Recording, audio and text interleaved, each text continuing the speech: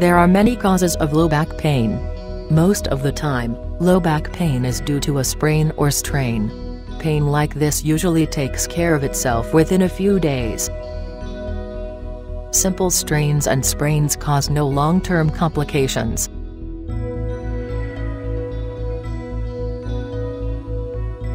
A condition known as degenerative disc disease usually occurs with aging.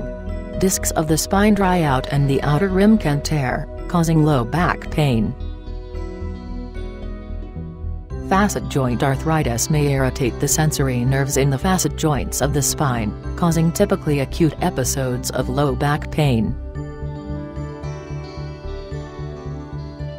The spinal cord and nerves normally have enough room to travel through the spinal canal.